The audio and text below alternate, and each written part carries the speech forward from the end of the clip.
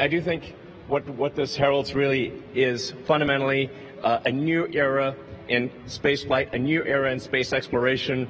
We're, we're going to go to the moon. We're going to have a base on the moon. We're going to have send people to Mars, have, and, and make life multiplanetary. And I think this this day heralds a new age of space exploration. That's what it's all about. Um, and this is the result of an incredible, incredible amount of work uh, from people at SpaceX, people at NASA. Hey, Kathy. hey, this is, I mean, so much. We're uh, 18 years. This has been eight, 18 years to to finally fly people to, to orbit and back. And um, I mean, I really came here because I just wanted to see Bob Doug. To be totally frank, it was like, thank goodness. Um,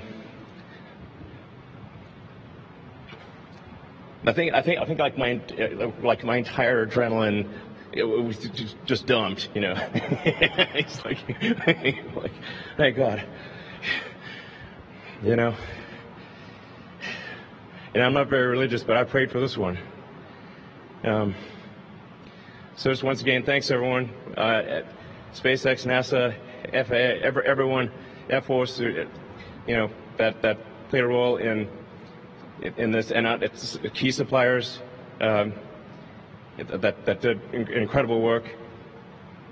Thanks, thanks again, and you know I think this is something that the whole world can take uh, some some uh, pleasure in, and, and can really look at this as an achievement of humanity.